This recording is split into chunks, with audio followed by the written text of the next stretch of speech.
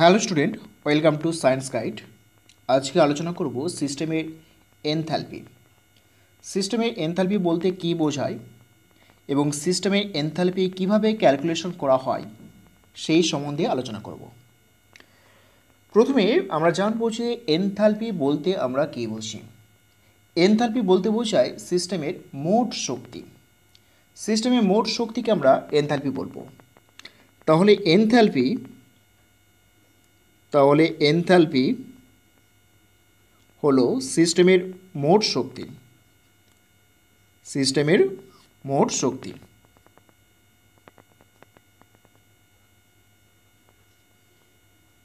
মোট শক্তি। এই সিস্টেমের মোট শক্তি হলো এখানে এনথ্যালপি এই এনথ্যালপিকে আমরা এইচ দ্বারা প্রকাশ করব। এইচ দ্বারা প্রকাশ করা হয়। তাহলে এবার এই এনথ্যালপির এক্সপ্রেশন কি হবে?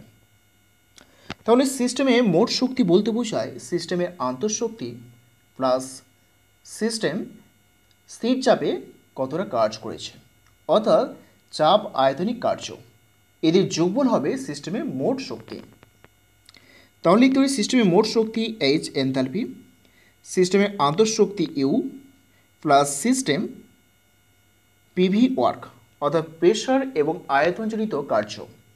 এদের যোগফল হবে মোট শক্তি। আর সেই মোট শক্তি আমরা এনথালপি এইচ দ্বারা প্রকাশ করব। এখানে ইউ হলো আন্তঃশক্তি। আন্তঃশক্তি বলতে বোঝায়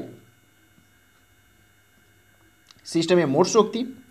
আর পিভি হলো এখানে হচ্ছে কার্য, অর্থাৎ চাপ এবং আয়তনজনিত কার্য। এই আন্তঃশক্তি এবং চাপ আয়তনিত কার্যের যোগফল হবে সিস্টেমের এনথ্যালপি যদি আমরা সিস্টেমটা স্থির চাপে সংগঠিত হয়, তাহলে এনথ্যালপি পরিবর্তন কত হবে? তাহলে আমরা দেখব যে স্থির চাপে স্থির চাপে এনথ্যালপি পরিবর্তন কত হবে? এনথ্যালপি পরিবর্তন। পরিবর্তন। তো স্থির চাপে এনথ্যালপি পরিবর্তন কত হবে? কেন আমরা স্থির চাপে এনথ্যালপি পরিবর্তন করব? না ম্যাক্সিমাম কেমিক্যাল রিয়াকশনগুলো বায়ুমণ্ডলীয় চাপে ঘটে। অর্থাৎ ওপেন ভেসেলের মধ্যে রিয়াকশন করা হয়। আর ওপেন ভেসেলের মধ্যে যখন রিয়াকশন করা হয়, তখন বায়ুমণ্ডলীয় চাপ স্থির থাকে। তো এই কারণে আমরা যখনই কোনো একটা সিস্টেমের কথা ভাববো, অর্থাৎ স্থির চাপে সিস্টেমটা কিন্তু সংগঠিত হবে। তাহলে এখন স্থির চাপে এনথ্যালপি পরিবর্তন আমরা দেখব কত হয়। তাহলে ধরে নিয়ে যাক যে একটা সিস্টেম ছিল, যার প্রাথমিক অবস্থায় enthalpy H one is equal to E one চাপ স্থির থাকবে তাহলে আয়তন ছিল ভি ওয়ান অর্থাৎ প্রাথমিক অবস্থায় সিস্টেমটা আন্তঃসূচি ছিল ইউ ওয়ান এবং আয়তন ছিল ভি ওয়ান তাহলে প্রাথমিক অবস্থায় এনথ্যালপি হবে H one is equal to U one plus P V one. এবার সিস্টেমটা পরিবর্তন ঘটেছে। সিস্টেম পরিবর্তন ঘটে অন্য একটা স্টেটে পৌঁছে গেছে।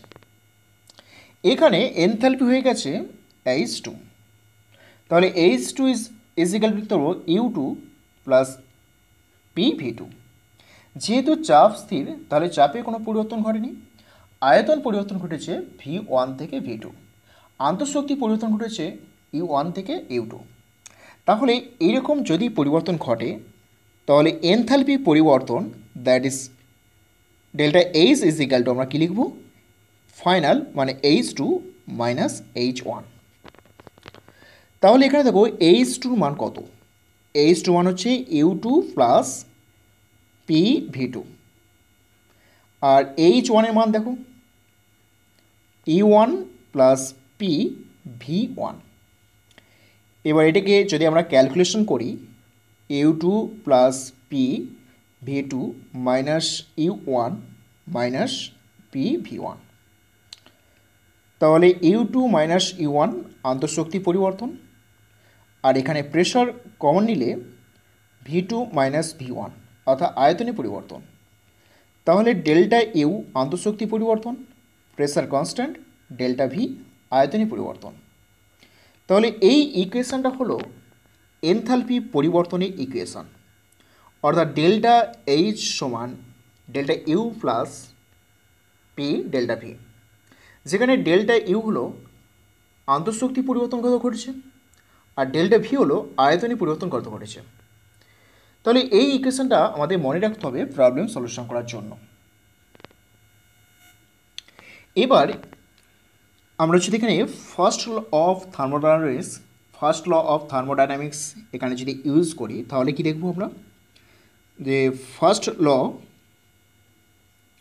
first law of thermodynamics dynamics যদি ইউজ করি, তাহলে দেখব ডেল্টা ইউ সমান কিউ প্লাস ডাব্লিউ ছিল।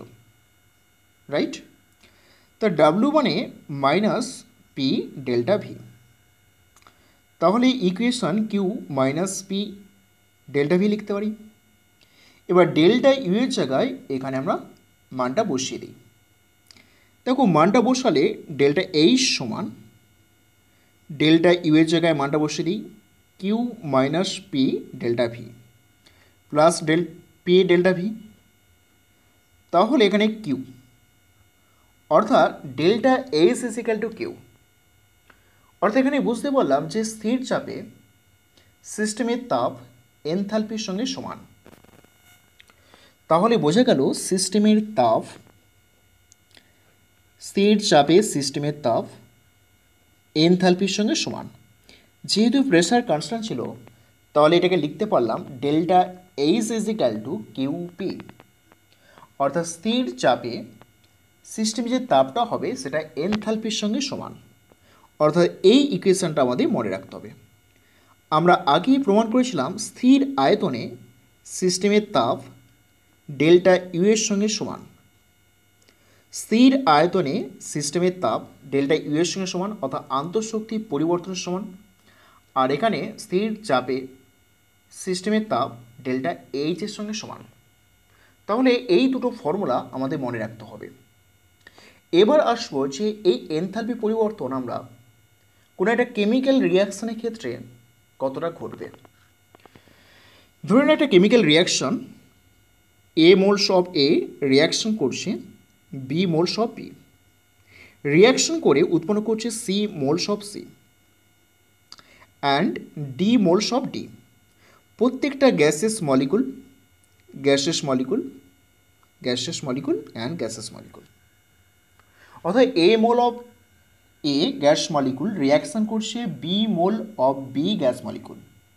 Reaction করে C mole of C gas molecule এবং তার সঙ্গে সঙ্গে D moles of D gas molecule উৎপন্ন হচ্ছে। তাহলে এইরকম কেমিক্যাল রিয়াকশনের ক্ষেত্রে যদি এই কেমিক্যাল রিয়াকশন আমরা সিস্টেম হিসেবে ভাবি, তাহলে এক্ষেত্রে এনথালপি পরিবর্তন কত ঘটবে? তাহলে আমরা আমরা একটু আগেই ক্যালকুলেশন করলাম ডেল্টা এইচ সমান delta U plus P delta V right আমরা এই ইকুয়েশন পেলাম। এবার দেখো এখানে প্রত্যেকটা গ্যাস মলিকুল রয়েছে। তাহলে গ্যাসের সিস্টেমের ক্ষেত্রে আমরা জানি যদি আদর্শ গ্যাস হয়, তাহলে পিভি সমান এনআরটি সমীকরণ ফলো করবে। যেখানে পি হচ্ছে প্রেশার আর ভি হলো আয়তন এন হচ্ছে মোল সংখ্যা, আর হচ্ছে গ্যাস কনস্ট্যান্ট এবং টি টেম্পারেচার তাহলে স্থির চাপে আমরা চাপ স্থির রাখি তাহলে কি করবে না, এখানে যখন রিয়াকশান ঘটছে, তখন উষ্ণতা স্থির। তাহলে মোল সংখ্যা পরিবর্তন হচ্ছে। আমরা নিয়েছিলাম এ আর বি মোল রিয়াকশান করতে নিয়েছিলাম। দেখো, মোল সংখ্যা পরিবর্তন হয়ে সি আর ডি মোল উৎপন্ন হচ্ছে। তাহলে এখানে পরিবর্তন শুধুমাত্র মোল সংখ্যা পরিবর্তন দ্যাট ইজ এন তাহলে স্থির চাপে that is P delta V সমান লিখতে পারি, শুধুমাত্র মোল সংখ্যা পরিবর্তন ডেল্টা এন আরটি কোনো পরিবর্তন হয়নি, কারণ আর এর মান স্থির এবং টি এর মানটা স্থির, অর্থাৎ উষ্ণতা স্থির আছে। তাহলে দেখো P delta V is equal to delta N R T লিখতে পারি। কারণ স্থির চাপে এবং স্থির উষ্ণতায় রিয়াকশানটা ঘটলে, তাহলে ডেল্টা পিভি সমান ডেল্টা এন আর টি শুধুমাত্র গ্যাসেস রিয়াকশানের ক্ষেত্রে প্রযোজ্য। তাহলে এখানে পি ডেল্টা ভি এর জায়গায় আমরা এটা চেঞ্জ করতে পারি। ডেল্টা এইচ সমান ডেল্টা ইউ প্লাস এখানে পি ডেল্টা ভি জায়গায় লিখতে পারি ডেল্টা এন আর টি যেখানে ডেল্টা এন হচ্ছে মোল সংখ্যা পরিবর্তন। তাহলে ডেল্টা এন মোল সংখ্যা পরিবর্তন কীভাবে করব? তাহলে ডেল্টা এন হচ্ছে প্রোডাক্ট প্রোডাক্ট কত আছে? সি মোল আর ডি মোল। তাহলে বিক্রিয়াজাত পদার্থের মোল সংখ্যা সি প্লাস ডি মাইনাস কত ছিল? এ প্লাস বি ছিল। তাহলে মাইনাস এ প্লাস বি অর্থাৎ আমরা পরিবর্তন মানে সবসময় কি? ফাইনাল মাইনাস ইনিশিয়াল তাহলে ফাইনাল দেখো ফাইনাল বলতে এখানে বিক্রিয়াজাত পদার্থ। এখানে সি আর ডি মোল রয়েছে ফাইনালে মাইনাস আর এ প্লাস বি তাহলে মোল সংখ্যা পরিবর্তন হবে C plus D minus A plus B right তাহলে এইভাবে আমরা ইকুয়েশন লিখতে পারি। তাহলে এখানে দাঁড়াচ্ছে delta H minus delta U সমান ডেল্টা এন আর টি এই ইকুয়েশন তো একটা এক্সাম্পল দিই। হাইড্রোজেন হাইড্রোজেন আর আয়োডিন। পরস্পর রিয়াকশন করছে রিয়াকশন করে two H I gas molecule উৎপন্ন করছে। তাহলে এখানে প্রত্যেকটা গ্যাস মলিকুল তাহলে এক্ষেত্রে আমরা দেখব ডেল্টা এন এর মান কত হবে। দেখো এখানে টু মোল এটা ওয়ান আছে, এখানে ওয়ান আছে। তাহলে product two mole minus reactant one plus one one plus one that is zero তাহলে ডেল্টা এন এর মান জিরো তো ইকুয়েশান ডেল্টা এইচ সমান delta U plus delta n R T ছিল। তাহলে দেখো ডেল্টা ইউ এখানে ডেল্টা এন এর মানটা zero zero into R T তাহলে আসবে ডেল্টা ইউ তো delta H is equal to delta U অর্থাৎ এখানে ডেল্টা এইচের সঙ্গে ডেল্টা ইউ সমান। অর্থাৎ সিস্টেমের এনথালপি পরিবর্তনের সঙ্গে সিস্টেমে আন্তঃশক্তি পরিবর্তন সমান এই ইকুয়েশনের ক্ষেত্রে। আবার ধরো, নাইট্রোজেনের সঙ্গে হাইড্রোজেন রিয়াকশন করছি। রিয়াকশন করে অ্যামোনিয়া গ্যাস উৎপন্ন হচ্ছে। রাইট অ্যামোনিয়া গ্যাস উৎপন্ন হচ্ছে। তাহলে ব্যালেন্স ইকুয়েশন এটা আছে। ব্যালেন্স ইকুয়েশন এটা। তাহলে এখানে দেখো প্রত্যেকটা গ্যাসের molecule nitrogen gas hydrogen gas এবং অ্যামোনিয়া গ্যাস তাহলে এখানে রিয়াক্টার ছিল মোট চার মোল নাইট্রোজেন এক মোল আর হাইড্রোজেন তিন মোল, চার মোল। কিন্তু রিয়াকশন পরে পেলাম আমরা দুই মোল অ্যামোনিয়া তাহলে মোল সংখ্যা পরিবর্তন কত? দেখো ফাইনাল হচ্ছে দু মোল। তাহলে টু মাইনাস ইনিশিয়াল কত? চার আছে। তাহলে কত হবে? মাইনাস টু তাহলে ডেল্টা এনের মানটা এখানে মাইনাস টু তাহলে আমরা দেখো ইকুয়েশান কী লিখতে পারি? ডেল্টা এইচ সমান delta U plus delta n R T লিখতে পারি। এবার দেখো ডেল্টা এন এর মান কত? ডেল্টা ইউ ডেল্টা এন এর মান হচ্ছে minus two minus two R T right তাহলে ইকুয়েশন আসবে ডেল্টা এইচ এবং delta equal to delta U minus two R T তাহলে এই রকম সমস্ত গ্যাসিয়াস রিয়াকশনের ক্ষেত্রে আমরা ডেল্টা এইচ এবং ডেল্টা ইউ এর ক্যালকুলেশন করতে পারি। তাহলে এক্ষেত্রে আমরা কি দেখব? এক্ষেত্রে দেখব delta H minus delta U সমান মাইনাস টু আর টি যেহেতু মাইনাস আছে মাইনাস অর্থাৎ জিরো থেকে কম রাইট তার মানে জিরো থেকে কম মানে আমরা এখানে লিখতে পারি delta H minus delta U less than zero যেহেতু মাইনাস আছে, তাহলে delta H less than delta U অর্থাৎ এখানে দেখলাম যে ডেল্টা ইউ এর মানটা ডেল্টা এইচ এর তুলনায় বেশি। এই রিয়াকশানের ক্ষেত্রে বেশি। আবার কেমিক্যাল রিয়াকশনের ক্ষেত্রে বিক্রিয় পদার্থ এবং বিক্রিয়াজাত পদার্থের এনথ্যালপি দেওয়া থাকলে আমরা ওই রিয়াকশানে এনথ্যালপি পরিবর্তন কত হবে সেটা কীভাবে ক্যালকুলেশন করব? ধরো এখানে রিয়াকশান হচ্ছে a mole of A reaction করছে b mole of B reaction করে উৎপন্ন হচ্ছে সি মোল অফ সি আর ডি মোলস সব ডি এইরকম উৎপন্ন হচ্ছে। এইরকম উৎপন্ন হচ্ছে। তাহলে এখানে এনথ্যালপি পরিবর্তন কত হবে? অর্থাৎ ডেল্টা এইচ এর মানটা কত হবে? আমরা কি করে বের করব? দেখো, আমাদের এ, বি নিয়েছিলাম, এ কত নিয়েছিলাম? এ মোল। বি কত নিয়েছিলাম? বি মোল। আর এই দুটো সাবস্টেন্স পরস্পর রিয়াকশন করে উৎপন্ন হয়েছে সি মোলস আর আর সি এবং ডি সি কত উৎপন্ন হয়েছে? সি মোলস ডি কত উৎপন্ন হয়েছে? ডি মোলস তাহলে এই যে রিয়াকশানটা সংগঠিত হয়েছে, তাহলে এই রিয়াকশানের ক্ষেত্রে এনথালপি পরিবর্তন কত হবে? কীভাবে ক্যালকুলেশন করব? তাহলে আমাদের প্রোডাক্ট কত আছে?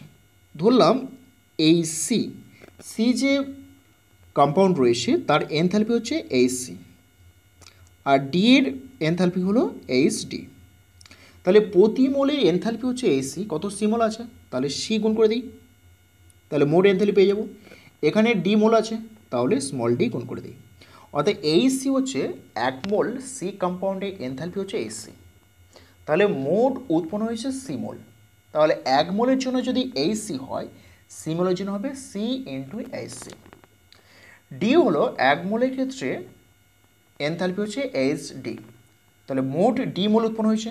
তাহলে এই ডি মোল উৎপন্ন হলে এই ক্ষেত্রে এনথালপি পরিবর্তন ঘটবে মোট ডি এইচ ডি তাহলে এখানে ক্ষেত্র একই ছিল যে এর ক্ষেত্রে এনথালপি ছিল এইচ এ, মোট কত ছিল? A into H A. B এর ক্ষেত্রে এনথালপি বি তাহলে মোট কত ছিল? বি ইন্টু এইচ বি তাহলে পরিবর্তন কত? তাহলে আমরা নিয়েছিলাম কত এনথালপি নিয়েছিলাম? তাহলে চোখ করে দাও। H plus b H B তাহলে কত পেলাম? যোগ করে দাও। C mole of H C plus d mole of H D তাহলে পরিবর্তন কত হলো? পরিবর্তন কত হলো? পরিবর্তন কি? প্রোডাক্ট এটা। পরিবর্তন কত হয়েছে? প্রোডাক্ট মাইনাস রিয়াক্ট্যান্ট অথবা ফাইনাল মাইনাস ইনিশিয়াল তাহলে ফাইনাল দেখো plus H D minus H A plus H B এইটা হচ্ছে এনথালি পরিবর্তন। তার মানে আমরা দেখলাম যে এটা প্রোডাক্ট তাহলে সামের সাম সামের সাম মানে এটা যোগ করছি। ঠিক আছে? তাহলে সামের সাম এইচ প্রোডাক্ট অর্থাৎ যত প্রোডাক্ট থাকবে, সবগুলোই যোগ হবে। এখানে দুটো ছিল। তাহলে সামের sum products minus সামের sum of H reactant reactant অর্থাৎ যত রিয়াক্ট্যান্ট থাকবে, সবগুলোই যোগ করে আমরা এনথালপি পরিবর্তন করব। তাহলে এখানে আমরা দেখতে পারি দুটো ঘটনা। প্রোডাক্টে এনথালপি বেশি হতে পারে, আবার রিয়াক্ট্যান্টে এনথালপি বেশি হতে পারে। রাইট তাহলে আমরা কি দেখব দেখো? যে, ধরে নাও রিয়াক্ট্যান্ট ছিল আর ফর রিয়াক্ট্যান্ট সেখান থেকে প্রোডাক্ট উৎপন্ন হচ্ছে। রাইট তাহলে এর এনথালপি ছিল এইচ আর আর এনথালপি এইচপি তাহলে এনথালপি পরিবর্তন কত হবে? না এইচপি এইচপি মানে product minus H R H R মানে রিয়াক্ট্যান্ট তাহলে এক্ষেত্রে এনথালপি পরিবর্তন দেখলাম যে প্রোডাক্ট মাইনাস রিয়াক্ট্যান্ট এবার এখানে কি ঘটতে পারে? হতে পারে যে প্রোডাক্টে এনথালপি বেশি হয়ে গেছে রিয়াক্টের তুলনায়। তার মানে কি, কীভাবে হলো? রিয়াক্ট্যান্ট ছিল সেখান থেকে প্রোডাক্ট উৎপন্ন হচ্ছে। রিয়াক্ট্যান্টের এনথালপি তুলনায় প্রোডাক্টে এনথালপি বেশি হয়ে গেছে। তার মানে এই সিস্টেমটা যখন পরিবর্তন ঘটেছে রিয়াক্ট্যান্ট থেকে প্রোডাক্ট তখন এর শক্তি বেশি মানে এ কী করছে? না, তাপ শক্তি গ্রহণ করেছে। তাপ শক্তি গ্রহণ করেছে রাইট তাহলে এখানে দেখব একটা পজিটিভ ভ্যালু তাহলে পজিটিভ ভ্যালু কেন এলো? না সিস্টেমটা তাপশক্তি গ্রহণ করেছে বলেই প্রোডাক্টে এনথালপি বেশি হয়ে গেছে। তাহলে তাপশক্তি গ্রহণ করলে রিয়াকশানটা কী বলা হয়? তাপ, তাপগ্রাহী বিক্রিয়া। কী বলা হবে? তাপগ্রাহী বিক্রিয়া? বা বলা হয় এন্ডোথার্মিক রিয়াকশন এন্ডোথার্মিক রিয়াকশন তাহলে এন্ডোথার্মিক রিয়াকশনের ক্ষেত্রে এনথালপি পরিবর্তন হবে পজিটিভ আবার ধরো যে রিয়াক্ট্যান্ট ছিল রিয়াক্ট্যান্ট ছিল রিয়াক্ট্যান্ট থেকে প্রোডাক্ট এই প্রোডাক্ট হয়ে গেছে। তাহলে এখান থেকে এনথালপি পরিবর্তন এইচ আর আর এনথালপি পরিবর্তন এইচপি তাহলে ডেল্টা এইচ সমান আমরা লিখব এইচপি মাইনাস এইচ আর লিখব। তাই তো? এইচপি মাইনাস এইচ আর এবার দেখব যে রিয়াক্টনে এনথালপি বেশি ছিল প্রোডাক্টে এনথালপি কমে গেছে। তাহলে এখানে এনথালপি বেশি ছিল, আর প্রোডাক্ট যখন পরিবর্তন করেছে, তখন এনথালপি কমে গেছে। কীভাবে কমবে? তার মানে বোঝাচ্ছে যে সিস্টেম থেকে তাপশক্তি এখান থেকে নির্গত হয়ে গেছে। তাপশক্তি নির্গত হয়ে গেছে। অর্থাৎ সিস্টেম তাপশক্তি ছেড়ে দিয়েছে। তাহলে ছেড়ে দিলে কি প্রোডাক্টের তাপশক্তি কমে যাবে? তখন দেখো ডেল্টা এইচ মানটা নেগেটিভ আসবে। তার মানে আমরা যদি দেখেছি যে কোনো একটা কেমিক্যাল রিয়াকশনের ক্ষেত্রে তাপশক্তি ছেড়ে দেয় বা তাপের উদ্ভব হয়, সেই ধরনের রিয়াকশন কি? এক্সোথার্মিক রিয়াকশন বলা হয়। অর্থাৎ তাপ মোচি বিক্রিয়া। দেখো, তাপ মোচন করছে। তাপ মোচি বিক্রিয়া। বা ইংরাজিতে বলা হয় exothermic exothermic reaction exothermic reaction তাহলে এই ধরনের রিয়াকশানগুলো হয় এক্সোথার্মিক রিয়াকশন তাহলে যখন ডেল্টা এইচ এর মানটা পজিটিভ আসবে তাপগ্রাহী বিক্রিয়া। ডেল্টা এইচ মানটা নেগেটিভ আসবে, এবার যেটা আলোচনা করব, সমষ্ণ আদর্শ গ্যাসের সম্প্রসারণে ডেল্টা এইচ কত হবে? তাহলে সমষ্ণ আদর্শ গ্যাসের সম্প্রসারণে ডেল্টা এইচ কত হবে? আমরা কি জানি যে ডেল্টা এইচ এর পরিবর্তন সমান delta U plus delta P delta V জানি রাইট আমরা এই ইকুয়েশনটা জানি। যে সমষ্ণ সমষ্ণ প্রক্রিয়ায় আদর্শ গ্যাসের সম্প্রসারণ ঘটেছে, সেখানে ডেল্টা এইচ কত হবে? Delta U plus P delta V তাহলে দেখো, এখানে সমষ্ণ প্রক্রিয়া আদর্শ গ্যাস বলেছে। যেহেতু আদর্শ গ্যাস, তাহলে পিভি সমান এনআরটি সমীকরণ আমরা লিখতে পারি। তাই তো? সমষ্ণ প্রক্রিয়া, তাহলে একটা প্রক্রিয়া যখন ঘটছে, সেটা সমস্ত প্রক্রিয়া। মানে এখানে ধরো একটা, এই যে রিয়াকশান ঘট, এখানে ঘটছে, তাহলে রিয়াকশান ঘটছে। এখানে এন মূল গ্যাস মলিকুল রয়েছে, উষ্ণতা স্থির রাইট এবার গ্যাসটা সম্প্রসারিত হচ্ছে। কীভাবে সম্প্রসারিত হচ্ছে? না সমস্ত প্রক্রিয়ায়। এই কারণে টিটা স্থির রাইট তাহলে এন মূল গ্যাস যদি থাকে, তাহলে বাইরে থেকে কোনো মলিকুল ভেতরে প্রবেশ করছে না। আবার ভেতর থেকে কোনো মলিকুল বাইরে আসছে না। তাহলে এন মোলে এখানেও স্থির। তো আমরা কি জানি যে পি ডেল্টা ভি সমান লিখতে পারি ডেল্টা এন আর টি কীভাবে হলো দেখো, আমরা ওই বুকে ডেল্টা যদি নিই ডেল্টা এন আর টি লিখতে পারি। ঠিক আছে? যেহেতু পি কনস্ট্যান্ট তাহলে যেটা কনস্ট্যান্ট হবে সেটা বাইরে আসবে। তাহলে পি ডেল্টা ভি সমান এনআরটি লিখতে পারি। রাইট দেখো এখানে এনটা কনস্ট্যান্ট আর এ মান কনস্ট্যান্ট এবং টি এর মানটা কনস্ট্যান্ট কারণ টেম্পারেচার স্থির সমস্ত প্রক্রিয়া। এন মোল স্থির, সম মোল স্থির যেহেতু আমরা সিস্টেম নিয়ে কাজ করছি, তাহলে সব কনস্ট্যান্ট যদি সব কনস্ট্যান্ট হয়, তাহলে পরিবর্তন কী হবে? জিরো কোনো পরিবর্তন ঘটেনি কনস্ট্যান্ট হয়ে গেছে। তাই না? ডেল্টা মানে কি? ডেল্টা এন ডেল্টা শব্দের অর্থ হচ্ছে পরিবর্তন। তাহলে যেহেতু নাম্বার অফ মলিকুল কোনো পরিবর্তন ঘটেনি আর এর মান তো কনস্ট্যান্ট টি এর মান কনস্ট্যান্ট তাহলে যখন পরিবর্তন কিছু ঘটছে না, তাহলে কি জিরো হবে? তাহলে দেখো এখানে ডেল্টা এইচ সমান delta U plus P delta V. তাহলে delta U plus delta nRT লিখতে পারি। এটা পরিবর্তন হয়নি, কোনো জিরো। আবার দেখো উষ্ণতা স্থির থাকলে আন্তঃশক্তির পরিমাণ কিন্তু জিরো হয়। তাহলে এখানে জিরো। তাহলে আপনার কোনো একটা সিস্টেম আদর্শ গ্যাস রয়েছে, এর মূল আদর্শ গ্যাস সেখানে আয়তনে পরিবর্তন ঘটছে, কিন্তু উষ্ণতা স্থির সমস্ত প্রক্রিয়া। এই ক্ষেত্রে এনথালপি কোনো পরিবর্তন ঘটবে না। তার সঙ্গে সঙ্গে আন্তঃশক্তিও কোনো পরিবর্তন ঘটবে না। তার কারণ টেম্পারেচার ফিক্সড রয়েছে। টেম্পারেচার ফিক্সড রয়েছে। তাহলে এইরকম সিস্টেমের ক্ষেত্রে যেখানে সিস্টেম রয়েছে, এই ধরনের সিস্টেমের ক্ষেত্রে কিন্তু এনথালপি পরিবর্তন শূন্য হবে। তো এই এনথালপির কিছু বৈশিষ্ট্য আমরা পড়ব। প্রথমত এনথালপি হচ্ছে state function enthalpy state function state function কোথাও অর্থ হচ্ছে অবস্থার অপেক্ষক। অর্থাৎ সিস্টেম যে অবস্থানে থাকবে, সেই অবস্থানের উপর সিস্টেমে এনথালপি নির্ভর করছে। সিস্টেম কোন পথে পরিবর্তন করছে, তার উপর নয়। মানে ধরো, কোনো একটা সিস্টেমের প্রাথমিক অবস্থায় এনথালপি ধরো এইচ ওয়ান ছিল, সিস্টেমটা পরিবর্তন ঘটে এই অবস্থান এলো এইচ টু এখানে পাথ ওয়ান এই পথে হতে পারে। আবার এই পথে হতে পারে, এরকম পথ, এরকম পাথ হতে পারে। যে কোনো পাথেই সে পরিবর্তন করুক না কেন এনথ্যালপির মান কিন্তু একই হবে, কারণ ওই একই অবস্থানে পৌঁছাচ্ছে। তাহলে এখানে পাথ ইন্ডিপেন্ডেন্ট রাশি, অর্থাৎ পাথের উপর নির্ভর করবে না। তাহলে এনথালপি পরিবর্তন ডেল্টা এইচ সমান লিখব আমরা final H two minus H one state function বলতে বোঝায় সিস্টেম কোন স্টেটে রয়েছে, কোন অবস্থা রয়েছে তার উপর নির্ভর করে।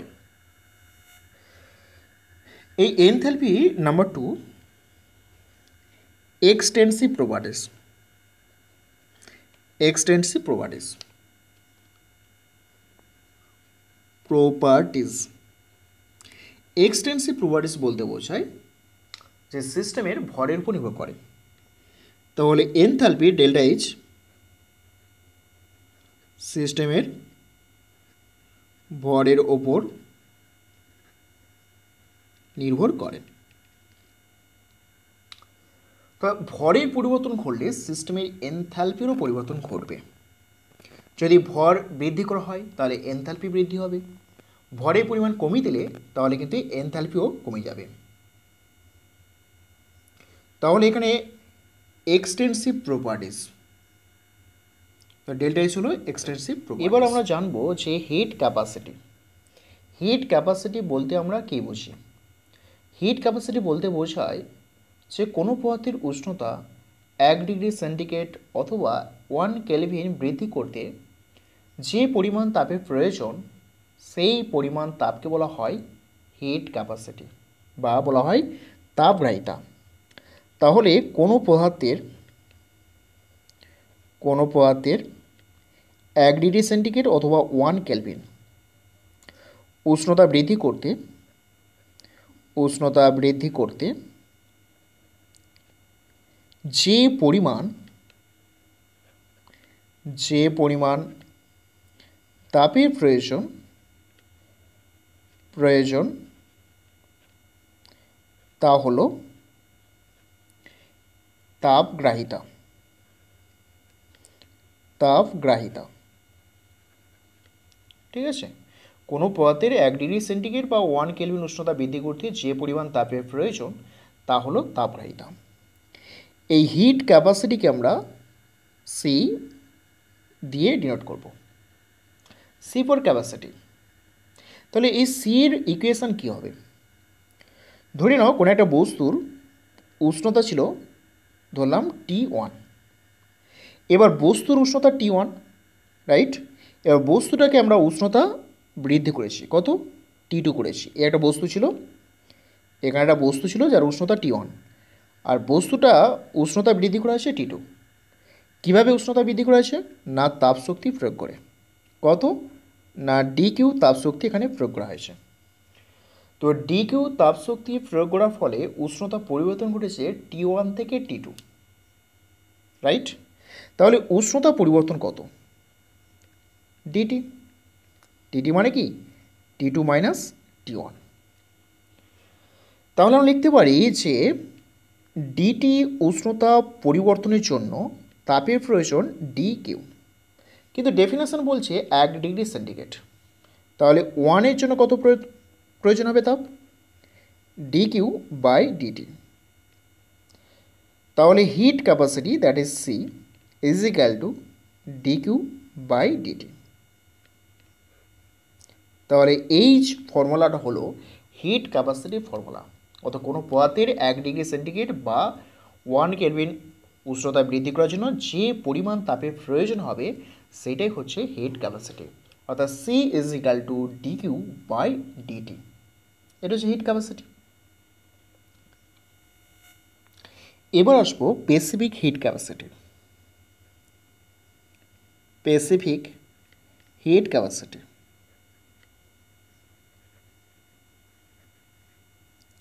specific heat capacity বলতে বোঝায় আপেক্ষিক তাপগ্রাহিতা আপেক্ষিক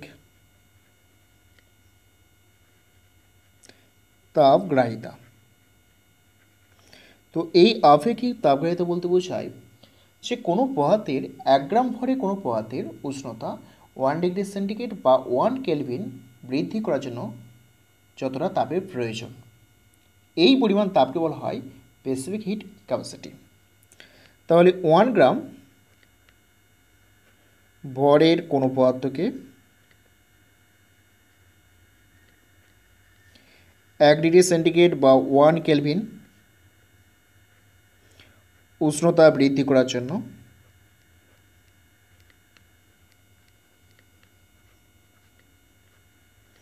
যে পরিমাণ তাপের প্রয়োজন তা হলো স্পেসিফিক হিট ক্যাপাসিটি অর্থাৎ আপেক্ষিক তাপগ্রাহিতা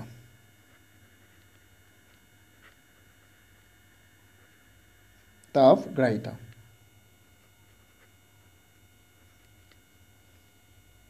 তাহলে এক গ্রাম ভরে কোনো পদার্থকে যদি আমরা ওয়ান ডিগ্রি সেন্টিগ্রেড বা ওয়ান কেলভিন উষ্ণতা বৃদ্ধি করা হয়, তাহলে যে পরিমাণ তাপের প্রয়োজন হবে, সেটা হচ্ছে আপেক্ষিক তাপগ্রাহিতা এরপর আসব আমরা মোলার হিট ক্যাপাসিটি তাহলে মোলার হিট ক্যাপাসিটি মানে বুঝতে পারা যাচ্ছে যে এক মোলের জন্য।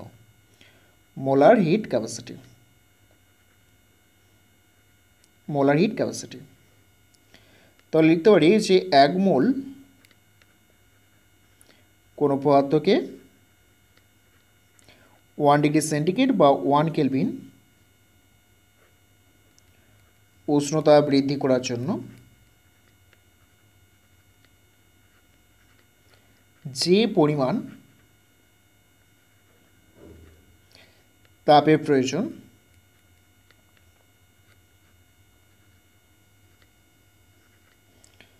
তা হলো মোলার তাপগ্রাহিতা। মোলার তাপগ্রাহিতা। এটিকে আমরা সি এম লিখব এম ফর মোলার রাইট তাহলে এক মোল কোনো পদার্থের উষ্ণতা যদি ওয়ান ডিগ্রি সেন্টিগ্রেড বা ওয়ান কেলভিন বৃদ্ধি করা হয়, যে পরিমাণ তাপের প্রয়োজন হবে, সেটা হচ্ছে মোলার তাপগ্রাহিতা। তো আমরা গ্যাসিয়াস সিস্টেমের ক্ষেত্রে অর্থাৎ গ্যাসের ক্ষেত্রে আমরা তাপগ্রাহিতা এখানে আলোচনা করব। গ্যাসের ক্ষেত্রে গ্যাস মলিকুলতে তাপগ্রাহিতা আমরা দুরকম দেখব। একটা প্রেসার কনস্ট্যান্ট একটা হচ্ছে ভলিউম কনস্ট্যান্ট যখন প্রেসার কনস্ট্যান্ট হয়, অর্থাৎ চাপ স্থির প্রেসার কনস্ট্যান্ট আর এটা হচ্ছে ভলিউম কনস্ট্যান্ট আয়তন স্থির